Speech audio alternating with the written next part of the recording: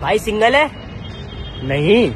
मेरे अंदर चार पांच आत्माओं का साया है